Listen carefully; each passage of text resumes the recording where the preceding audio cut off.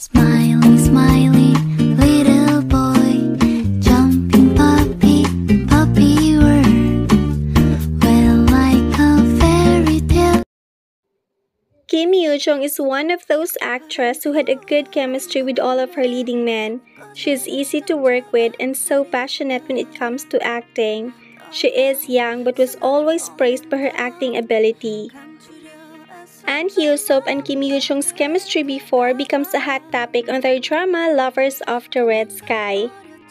They look so good together and their chemistry is superb as well. Here are some moments of Kim Yoo-jung and Ahn Hyo-seop that shows their relationship while filming. This is Kim Yoo-jung and Ahn Hyo-seop on the last episode of Lovers of the Red Sky and they are already married on this episode and indeed in the behind the scene they look like a real couple. Also, Kim Yoo-jung keeps on teasing Ahn Hyo-seop and his reaction is so precious.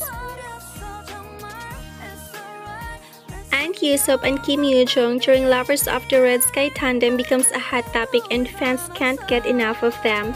They look so good and their chemistry is really superb that fans can't help but to wish that they are indeed dating in real life.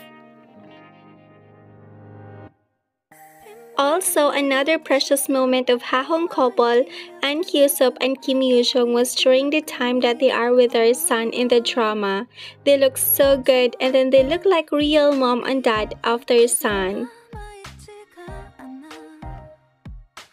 Personally, I also like the chemistry of Kim Yoo-jung and Ahn Hyo-seop, and if given a chance, I would like to see them again in another drama. What about you guys? I would love to read your thoughts about this. For more updates, please don't forget to like, share, and subscribe. See you on my next video!